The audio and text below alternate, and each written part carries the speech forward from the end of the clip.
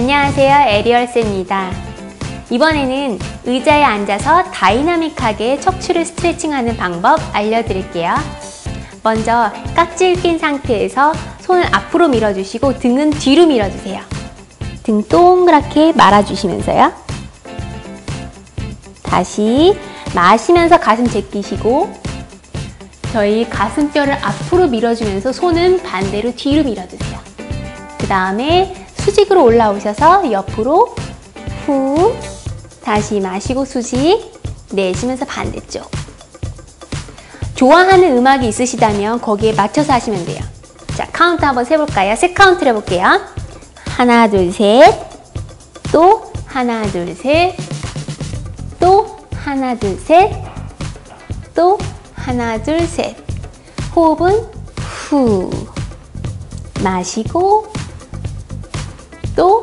후 마시고 후 마시고 조금 빠르게 해볼까요? 재밌게 후 마시고 또 마시고